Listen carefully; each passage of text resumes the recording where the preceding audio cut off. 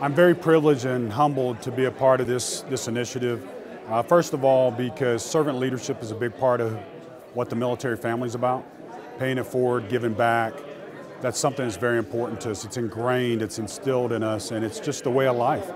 And I think that level of loyalty, the sense of family, all those great dynamics that the military provides us with, just very privileged to be a part of that and continue to maintain that through this program. The time transitioning from the military for the service members and for the, the families is a very difficult time.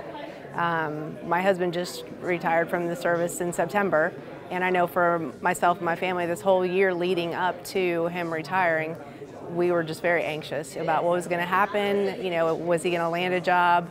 Um, you know, would we need to move again? So I just, uh, my husband and I both were part of the Pathfinder program. Um, actually, when it start, first started, when it was pil piloting, they, you know, Chuck and the team with the Pathfinder group, the whole USO, really helped us to kind of figure out what we were going to do next. So not only for my husband transitioning, but for myself transitioning as well.